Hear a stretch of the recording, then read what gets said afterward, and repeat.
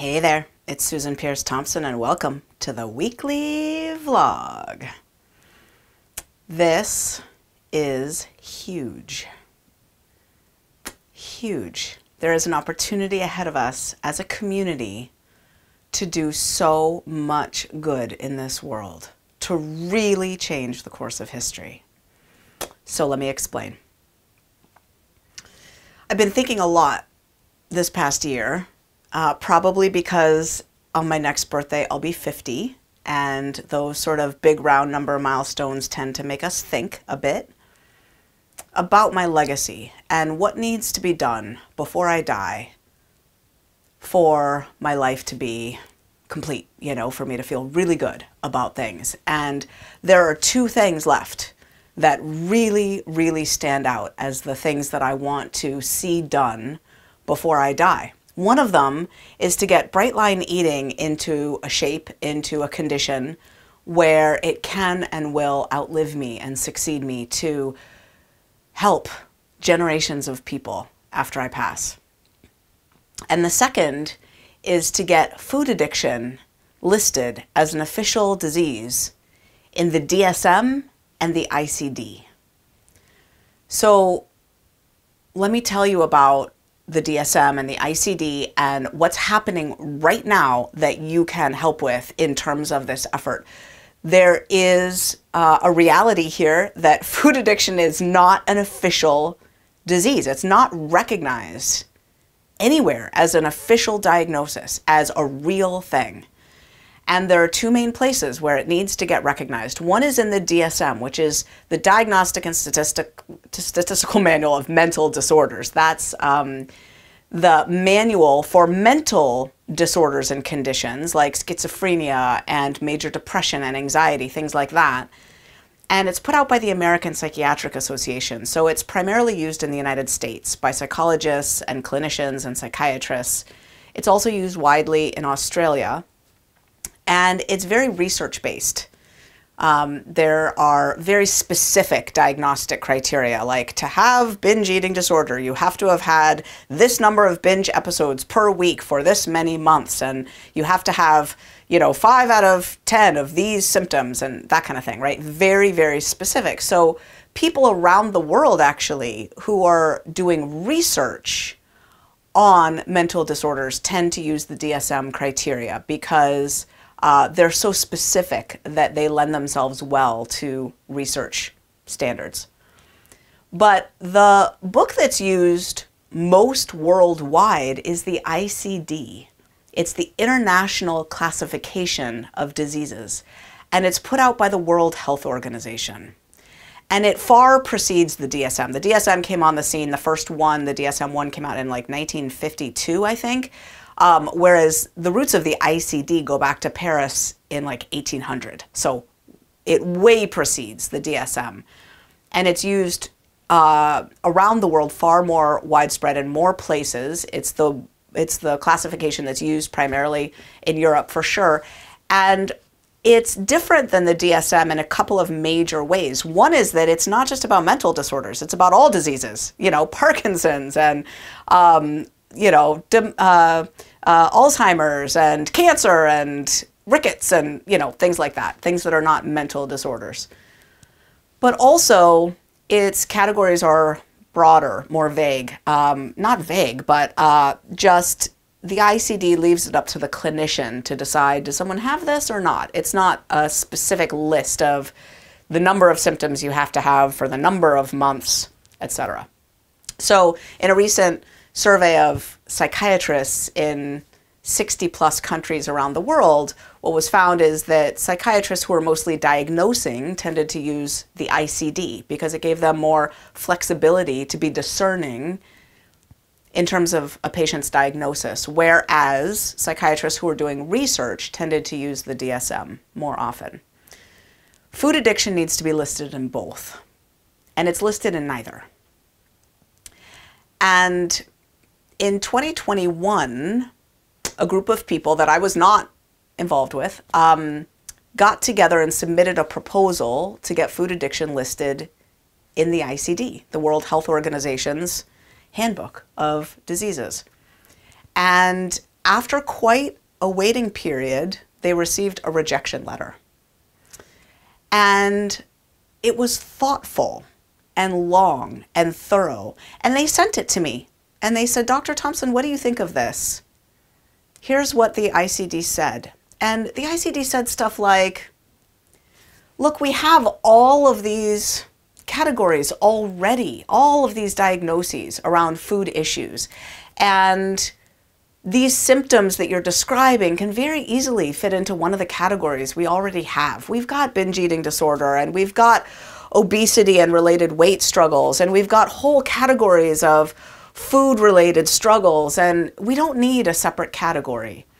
And they said, there isn't enough evidence. There isn't enough evidence to make the change that you're proposing. So, um, they asked my opinion, and we've been pondering this together over the last couple of years. And what's happened is a coalition is building.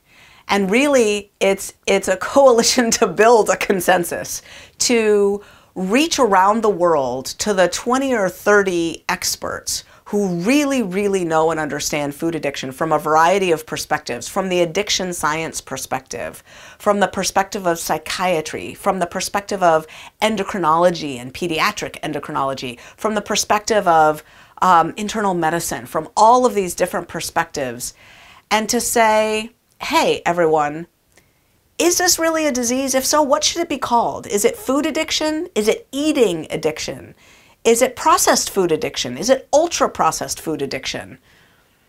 Do we have enough evidence really to make this claim, or are there places where there are gaps in the research literature? Because the ICD just reviewed all of the studies that were sent in, some 400 studies, and they wrote back and said there's not enough evidence.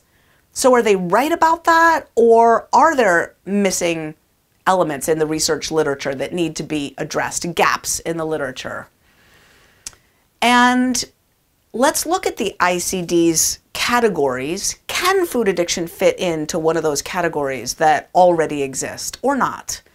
Does it need to be a separate category of a substance use disorder, right?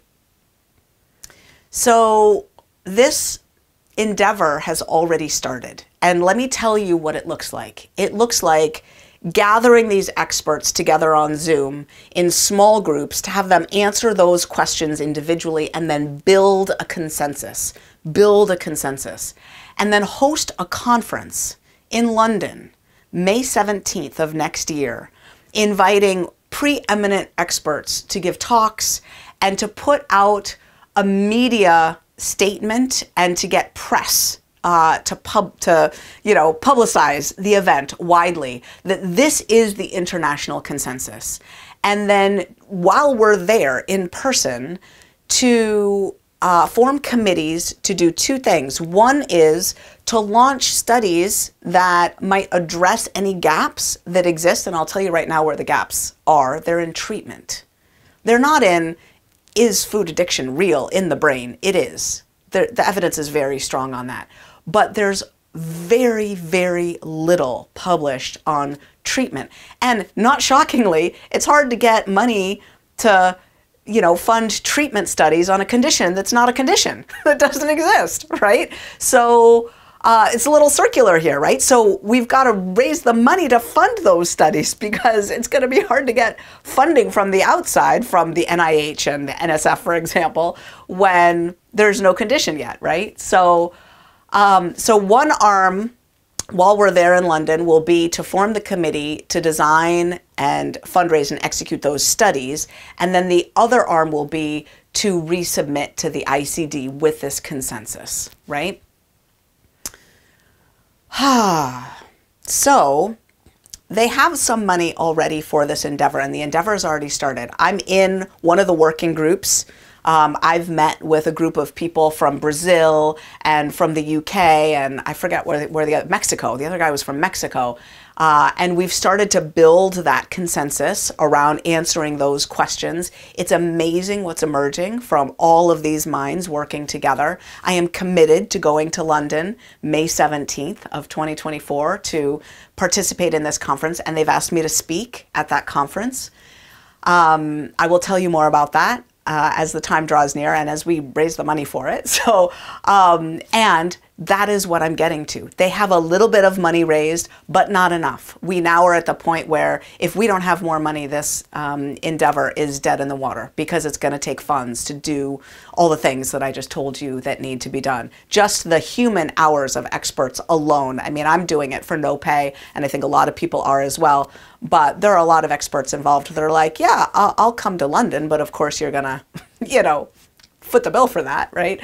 So, um, yeah, we have a fundraising opportunity ahead of us. And this is not new in Bright Line Eating Land. I don't know how long you've been around here, but in 2017 and 2018, a year apart, I put out a call to raise money for charity water. And you responded.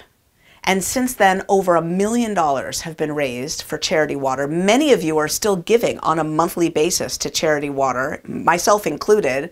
And we've raised over a million dollars, and that means tens of thousands of people around the world, primarily in Africa and Southeast Asia, now live in villages that have clean drinking water. Tens of thousands of people, thanks to the Bright Line Eating community, thanks to the work that we did together to raise that money.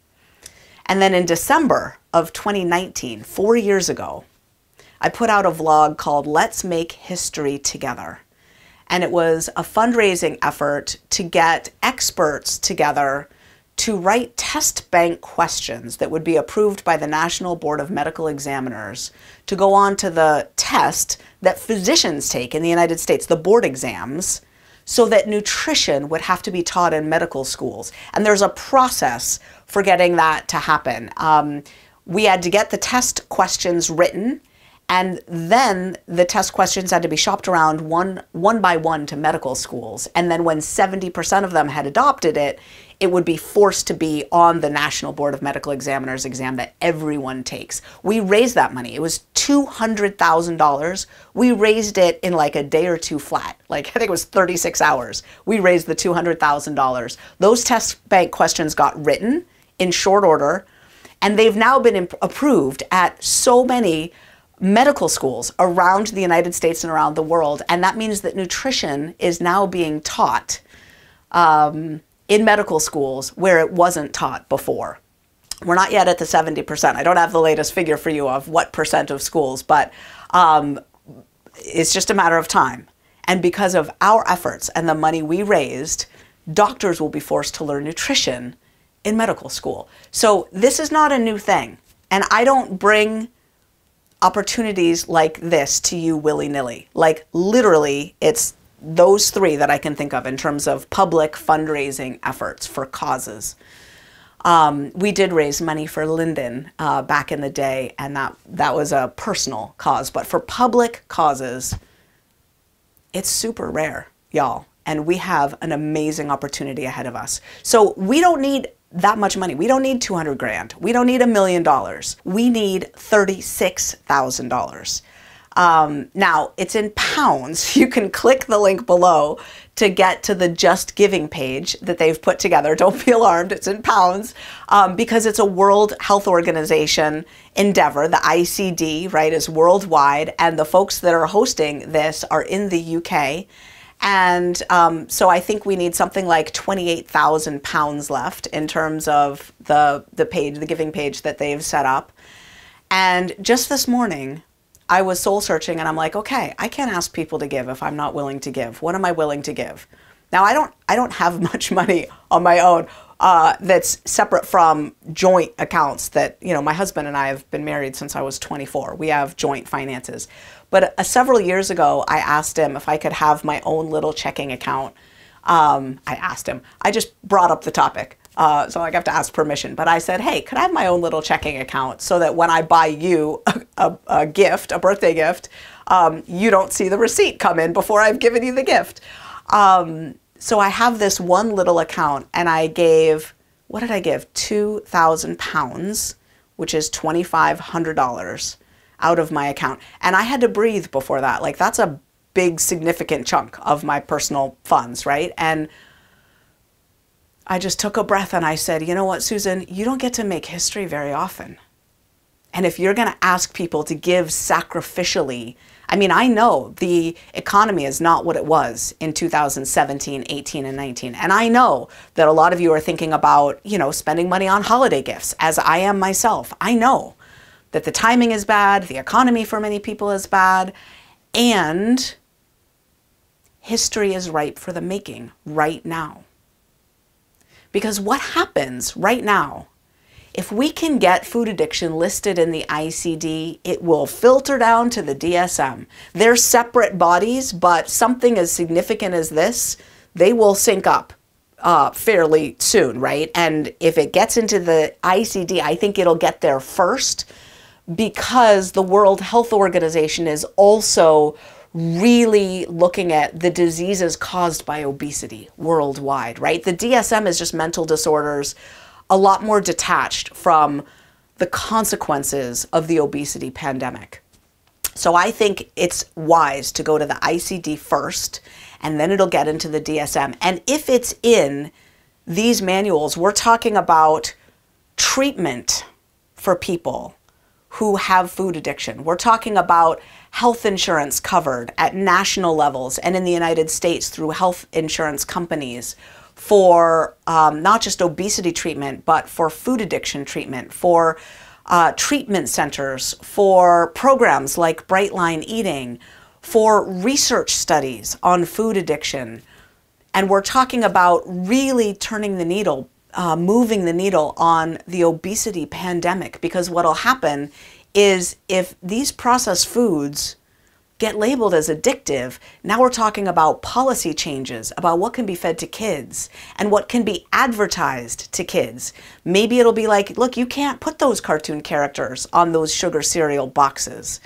That's not okay to market addictive foods to kids in that way. We're talking about in your and my lifetime seeing an entire sea change in how people think about food, in the policies and regulations around food, and on people's health and vibrancy and well being and the services that they have access to that their health insurance will pay for. We're talking about doing a lot of good in the world.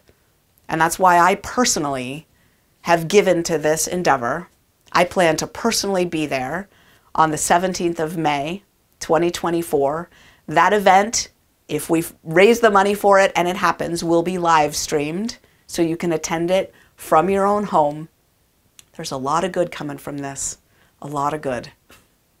I'm really excited. Let's see what we can do. We could do this, right? We could do this. $36,000. That's like 36 people giving $1,000.